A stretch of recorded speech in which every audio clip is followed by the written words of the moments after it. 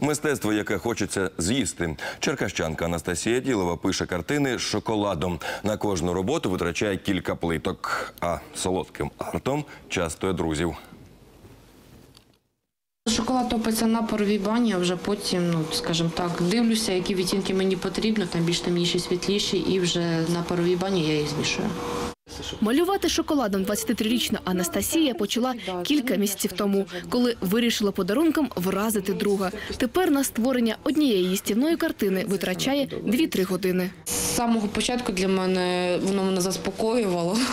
Не знаю чому, але коли я щось роблю своїми руками, мені мене це дійсно заспокоює. Головне, сміється дівчина, не спокуситися ароматом і не перетворити арт на обід. Згодом зізнається, сама шоколаду не їсть. Відвернула від шоколаду повністю. Чому?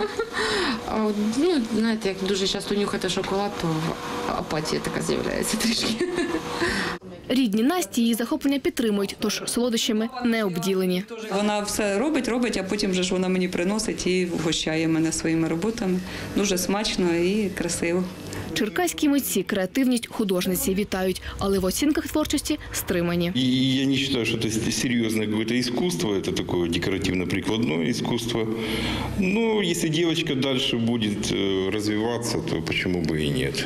Очень даже нормально. Ну, аромат нормальный, надо попробовать. Ароматні листівки і портрети художниця створює для друзів та не продає. Відтепер в цю категорію потрапив і телеканал Україна. Ну, ось такий невеличкий подарунок саме для телеканалу Україна. Євгенія Підлисевич, Юрій Підлисевич. Інформаційна програма Сабиття Черкаси.